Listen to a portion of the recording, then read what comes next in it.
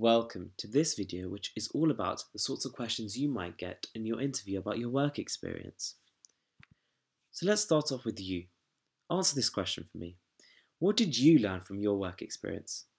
Pause the video now and have a go at this question by recording yourself and play it at the end. Okay, so whenever you're answering these questions, there's always one framework that I really recommend. And this framework is STAR. Situation, task, action, result, and reflection. So start off by setting the scene. Give some background. Which hospital was this work experience in? Which placement? What were you doing in the situation where you learnt something? How did you respond? What sorts of things did you observe?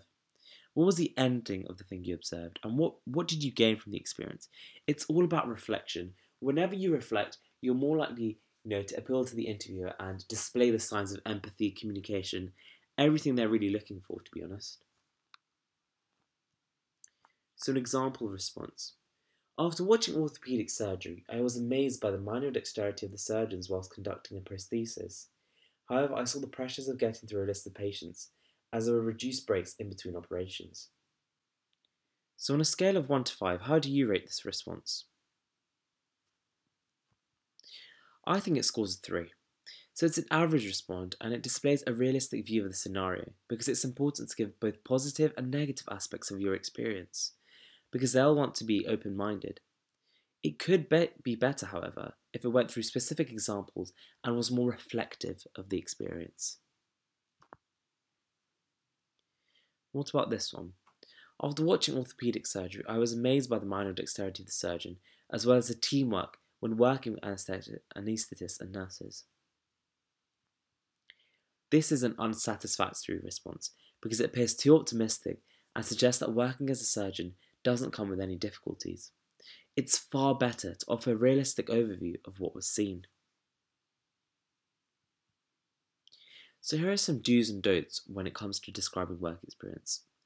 You should give positives and negatives you know, obviously there are going to be things you encountered which you loved and things you weren't completely happy with. And it's better to be honest because, you know, medicine is one of those professions where it's good to know all sides of, of the kind of scale. And as long as you're really reflective on your experiences, that's the main thing. Really, you should give examples of what you've learnt rather than being op- overly uh, generic. Also, try not to be overly optimistic and ignore everything. Don't be like, medicine's amazing, I've never thought anything different about it. There's no flaws. NHS is perfect because everyone knows there are things wrong with the NHS. There are things that you know, there are there are downsides to being a doctor, and mentioning these will be show that you're humble and you accept the challenges, but you still want to pursue such a career. Try not to overuse buzzwords such as MDT, empathy, without giving any substance to it. Of course, they're very good words that you can use, but you have to kind of justify why you're using them. And don't just list off the things you've seen, as we saw in the two examples before. Answer this question for me. Can you tell me about a memorable situation you observed and what you learned from it? Pause the video now, record yourself, and have a go. So let's look at this example response. One particularly memorable experience was when I was in a liver transplant clinic and the patient who came in was non compliant. I noticed the importance of the consultant communicating the importance of taking immunosuppressant therapy to the patient who was a young girl and how they adapted to the situation by displaying empathy. So this actually scores 4 out of 5.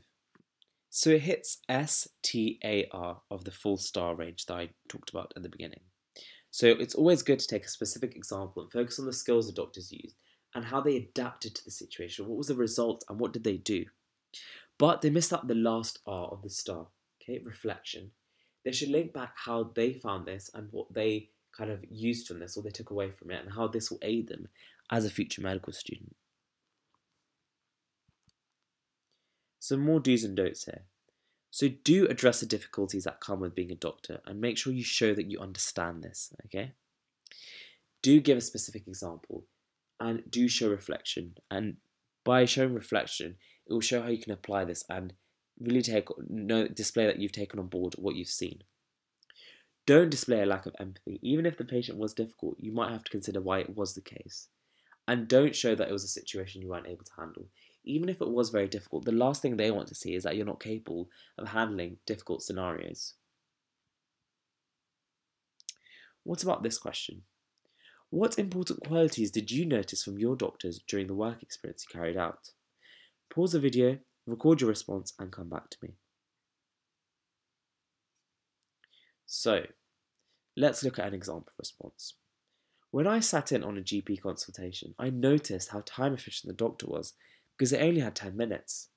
I also saw how they were good at communicating to the patient and showed lots of empathy. They were also very organised and adaptable to each patient.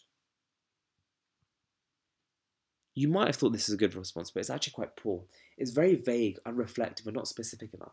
They're using lots of buzzwords, just communicating, organised, adaptable, but they don't give any justification for using them it's also better to focus on maybe one or two qualities and, you know, say why you think they're important and what sort of things were good about them. Yeah? Some more do's and don'ts. You should try and focus on one quality and why you picked it and display it as an example. Consider all other healthcare professions, the physiotherapist, the nutritionist, as well as the patient and doctor. What role did they have in the scenario? Be specific and recognize the trait of the doctor that you saw. Don't list lots of qualities and without giving any reflection or example. And don't be generic and digress from the main question. There's lots of qualities you can mention empathy, communication, teamwork, compassion, work ethic, professionalism, knowledge, and confidence. Okay? But give some justification as to why you're using these words. Sometimes you might get a curveball question like this as well. What's the reason we want our applicants to do work experience? Pause the video and have a go. So let's look at this response. I believe as potential medical students and doctors, we should be confident that we are making an informed decision about our futures, and after conducting my work experience, I was given an insight into what a career in medicine entails, and I also acknowledge that I have the correct skills required. This is an okay response, it's been answered satisfactorily. They could have been a bit more specific in terms of what they realise in terms of commitment required. Okay, but obviously you don't have a lot of time, so you need to make sure that you kind of say what you want to say in the time allocated. So, you should appreciate that clinical aspects of medical education will have some overlap with work experience placements. So the things you see on your work experience, the things you do will be very similar to medical education. For example, we have an 8am ward round and we're always following the doctors around. We don't really do that much apart from follow them around and observe very similar to work experience. You might get opportunities to draw blood and that sort of thing as well. Do display that you you know what it takes, what a medical career entails, and acknowledge that it's there to help you make an informed decision. Okay. Don't panic whenever you're given a curveball question, even if you haven't prepared for it. Don't panic. Just you know, take a moment to pause, think about it, and then answer.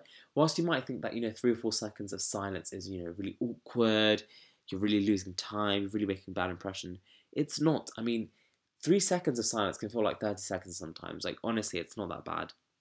And don't say work experience is a requirement rather than explaining why they give work experience out. How did your work experience change your views of the NHS or medicine? Have a go.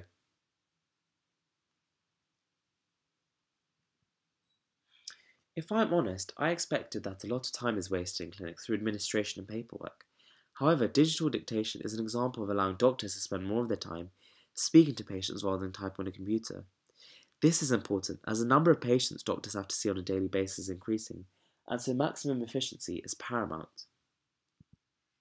This is a very good response because it's a specific example, given the early presumption and displayed how it was different to what they expected. It's very reflective as well. Some more do's and don'ts do take a moment to pause and think. So if you can't think of anything, do tell the interviewer, you know, sorry, I can't think of anything at the moment. Uh, sorry about that. And do elaborate on your answer and always reflect, always, always reflect. And don't feel the need to make a revolutionary comment. You'd have to say, you know, wow, like I thought the NHS is amazing. Um, I feel like I can change the NHS now. It can be something very generic as well, but don't give a generic example. Okay, it could be a point that a lot of people make, but don't give a generic example of something you notice. Okay, I hope this video you found useful and yeah, reflect, reflect, reflect. It's the main thing I take away from this. So after work experience, maybe note down all the things you saw and that will really help you. Thank you for watching this free tutorial from Medic Mind. To unlock 100 tutorials on topics such as MMI, Oxbridge, NHS structure, work experience, personality and much more, click here now.